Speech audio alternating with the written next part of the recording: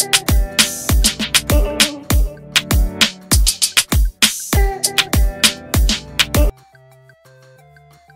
ปิดวาร์ปตัวแม่รวม 20 คนดังฉายานางเอก 100 ล้านของเมืองไทย เปิดวาร์ปตัวแม่สวยเก่งปัง รวม 20 คนดังเจ้าของฉายานางเอก 100 ล้านของเมืองไทย ทุกสถิติขายตั๋วภาพยนตร์ทำรายได้ทะลุ 100 ล้านสำหรับวงการภาพยนตร์จองเงินในประเทศไทยนั้น เรียกได้ว่ามีเหล่านักแสดงที่มากฝีมือล้นจอ โดยเฉพาะเหล่านักแสดงหญิงนางเอกตัวแม่ตัวมัมตัวมารดาที่ทั้งสวยเป๊ะปังแถมยังมากความสามารถเข้าถึงและถ่ายทอดบทบาทตัวละครออกมาได้ สะกดคนดูกันสุดๆ จนทำให้สามารถทุบสถิติขายตั๋วภาพยนตร์ทำรายได้ทะลุ 100 ล้านได้ฉายา นางเอก 100 ล้าน ไปครอบครองนั่นเองทำความรู้จัก 20 นักแสดงหญิงที่ได้ฉายา นางเอก 100 ล้านหนึ่งโฟกัส จิรกุลจากแฟนฉัน 2546 ได้ฉายา นางเอก 100 ล้าน ต่อท้ายตั้งแต่อายุ 10 ขวบสำหรับนักแสดงสาวมากความสามารถที่ยิ่งโตก็ยิ่งสวยอย่างสาว โฟกัส จิรกุล โดยภาพยนตร์ดังกล่าวกวาดรายได้ไปมากกว่า 137 ล้านบาท 2. วีเจจ๋าณัฐฐาวีรนุชทองมีจากชัตเตอร์กดติดวิญญาณ 2547สำหรับภาพยนตร์สยองขวัญในตำนานอีกเรื่องหนึ่งของประเทศไทย อย่างชัตเตอร์กดติดวิญญาณก็ถูกใจคอหนังจนโด่งดังไปทั่วโลก กวาดรายได้ไปมากกว่า 109 ล้านบาท ทำให้วีเจจ๋านัฐถาวีรนุชที่รับบทนางเอกขึ้นแท่นนางเอกร้อยล้านไปในทันที ภาพประกอบ ภาพประกอบจาก GDS 3 คริสหอวังจากรถไฟฟ้ามหานะเธอ 2552 โดยคริสหอวังรับบทสาวหมวยอารมณ์ดีที่ยังโสด ประกบกับเคนธีรเดชเป็นหนังรักฟิล คูดที่ทำเอาผู้ชมฟินกันแบบจิกหมอน กวาดรายได้ไปทั้งหมด 147 ล้านบาททำให้สาวตาเฉียวคนนี้กลายเป็นนางเอกร้อยล้านในชั่วข้ามคืน 4. สายป่านอภิญญาจาก 32 ธันวา 2552 หนังรักอารมณ์ดีที่สาว สายป่าน มาพร้อมทรงผมสุดเท่และการแสดงเรียกรอยยิ้มกวาดรายได้ไปกว่า 103 บาท 8 สตางค์ได้เป็นนางเอกร้อยล้านทันที 5. ยิปโซ อริย์กันตามหาพฤกษ์พงศ์จากสุดเขตสเลดเป็ด 2553 ภาพยนตร์แนวโรแมนติกคอมเมดี้ในตำนาน ที่คอหนังรักอินดี้ห้ามพลาดเด็ดขาด ฮิตจนร้องเพลงกันได้ทั่วบ้านทั่วเมือง กวาดรายได้ปังทะลุ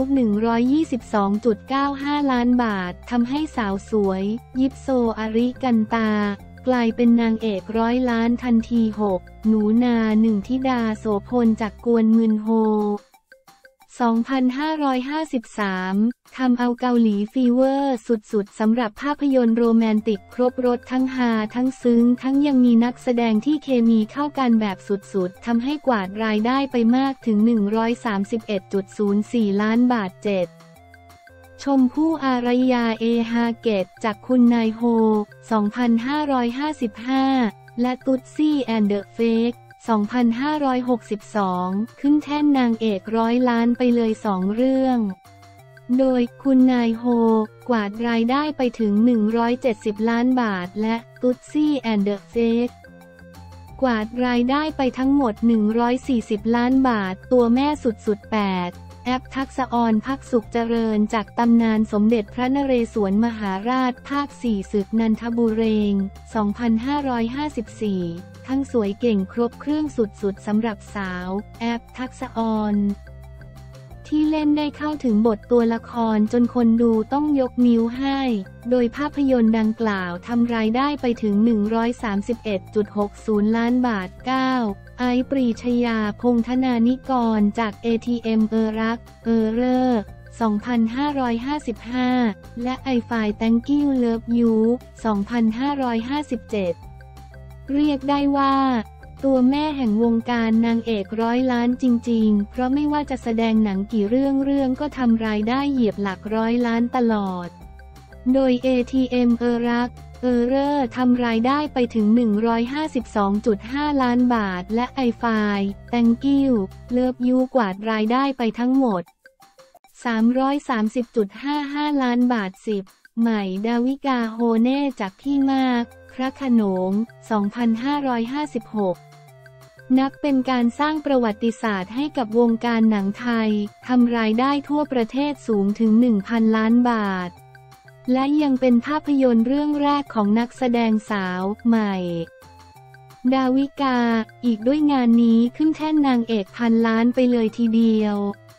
11. นิวนิษฐาจิระยั่งยืนจากแฟนเดย์แฟนกันแค่วันเดียว 2559 ปังทั้งจอแก้วจอเงินจริง ๆสำหรับสาวคนนี้ เพราะภาพยนตร์รักนี้กวาดรายได้ทะลุ 150ล้านบาททำให้คุณแม่ยังสาวเจ้าของรอยยิ้มหวานได้เป็นนางเอกร้อยล้าน 12 ยาย่าอุรัสยาสเปอร์บันจากนาคี 2 2561 และน้อง พี่ ที่รัก 2561 ทั้งสวยทั้งเก่ง ได้เป็นนางเอกร้อยล้านไปเลยสองเรื่องสำหรับสาวอินเตอร์ ญาญ่าอุรัสยา โดยนาคีสองกวาดรายได้ไปทั้งหมด 161.19 ล้านบาทและน้องพี่ที่รักทำรายได้ไปถึง 146.81 ล้านบาท จะทำอะไรก็ปังจริง ๆ สาวคนนี้ 13 ใบเฟิร์น พิมชนก ลือวิเศษไพบูลย์จาก Friend Zone ระวัง สิ้นสุดทางเพื่อน 2562 เป็นทั้งนางเอกในภาพยนตร์และนางเอกในชีวิตจริง ทำเอาแฟนๆสุดฟินกันใหญ่โดยภาพยนตร์โรแมนติกครบรถเรื่องนี้สามารถทำรายได้ทั่วประเทศสูงถึง 220 ล้านบาท 14 เบลล่า ราณีแคมเปญจากอีเรียมซิ่ง 2563 เมื่อสาว เบลล่าราณี จัดเต็มความฮาแบบไม่ห่วงสวยจนได้รับคำชมมากมายจากแฟนๆ และกวาดรายได้สุดปังในช่วงโควิด ทั่วประเทศไปถึง 200 ล้านบาทปีทองของเธอจริง ๆ 15 แทดณปอพาจากหลวงพี่แจ๊ส 4G 2559 ไม่ว่าจะรับบทไหนก็เรียกเสียงฮาได้ทุกบทจริง ๆสำหรับสาว แพทณปอพา โดยภาพยนตร์หลวงพี่แจ๊ส 4G ก็ทำรายได้ไปกว่า 160 ล้านบาท 16 ผลสนันฉัดจากไบแมน สักกรินตูดหมึก 2561เป็นหนังไทยที่มาแรงแซงทางโค้ง ทั้งตลกอารมณ์ดีแถมยังได้สาวเสียงหวานหน้าเด็กตลอดการอย่าง ฝนสนันฉัด มารับบทเป็นนางเอกกวาดรายได้ไปกว่า 140 ล้านบาท 17 ออกแบบชุติมณฑน์ จากฉลาดเกมส์โกง 2560 หนึ่งในภาพยนตร์ไทยที่ประสบความสำเร็จมากที่สุดในประวัติศาสตร์ กวาดเงินในไทยไปทั้งหมด 186 ล้านบาท ทะยานขึ้นอันดับหนึ่งบ็อกซ์ออฟฟิศหลายประเทศแถบเอเชีย โดยเฉพาะจีนที่ทำเงินมหาศาลกว่า 1.5 พันล้านบาท พร้อมสร้างสถิติใหม่กลายเป็นภาพยนตร์ไทยที่ทำรายได้ทั่วโลกสูงสุด 18 พิงกี้สาวิกาจากหลวงพี่เท่ง 2548 ภาพยนตร์ตลกให้แง่คิดในตำนานสำหรับภาพยนตร์เรื่องนี้สามารถทำรายได้จากการฉายถึง 141.7 ล้านบาท นับว่าเป็นหนึ่งในภาพยนตร์ไทยที่ประสบความสำเร็จทางรายได้อย่างมาก 19 ทรายเจริญปุระจากหนังเรื่องนางนาคปี 2542เรื่องฝีไม้ลายมือไม่ต้องห่วงบอกเลยว่า 10 10 10 สำหรับการแสดงของนักแสดงสาวทรายเจริญปุระ โดยในครั้งนี้มาในภาพยนตร์สยองขวัญในตำนาน ซึ่งวันแรกของการเปิดฉายนางนาคภาพยนตร์ไทยทำรายได้ทะลุ 150 ล้านเรื่องแรกในประวัติศาสตร์ภาพยนตร์ไทย 20 ยดานรินยากุลละมงคลเพชร จากร่างทรง 2564 ปังไม่ไหว